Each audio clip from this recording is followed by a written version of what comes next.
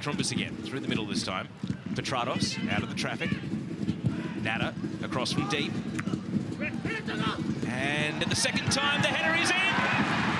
They couldn't keep it out. Western Sydney Wanderers get the breakthrough, and Jarrod Carluccio is the man who has found the back of the net. You can see what it means to him A first Isuzu Ute, A-League men's goal. Well, what a wonderful passage of play that is from Western Sydney Wanderers. Telling cross to the back post. You can see there as the ball's played wide, it's just a touch out of his feet on the Harvey Norman replay.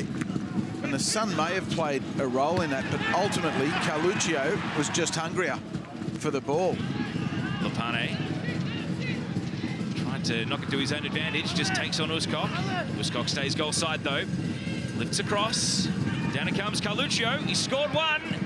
And he's denied a second. It hits the crossbar. Oh, and Petratos from less than a metre out.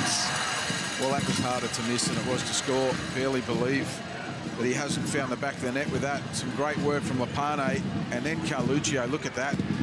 Ball down the right side. Early ball from McGing. Sliding through. Meredith should have done better on the instep, trying to open up his body for a left-footed strike. Something that Lucic should be focusing on at half-time. Davila. Toure. And MacArthur finish the half with a bang! Just wide. Al Hassan Toure didn't get the curve he needed.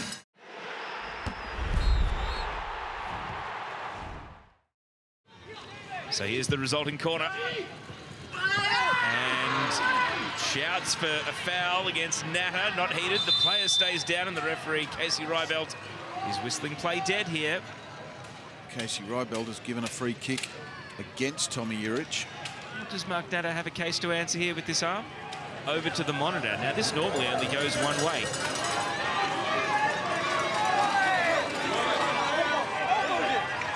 Here's the verdict. Penalty. To level for MacArthur. Here's the penalty.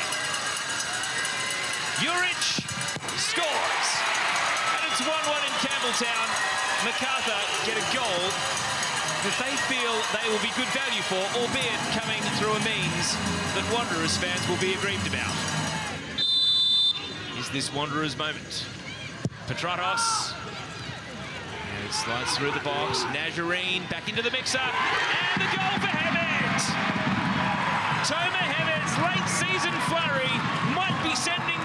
Sydney Wanderers to a first ever win against their nearest rival. Casey Reibelt is checking an offside, which is normally not the done thing on the monitor. Normally the VAR manages that autonomously. It's just whether Natta comes from an offside position and affects the play, which I don't think he does. It already cleared him. But they're going to disallow. Wow, what an anti-climax.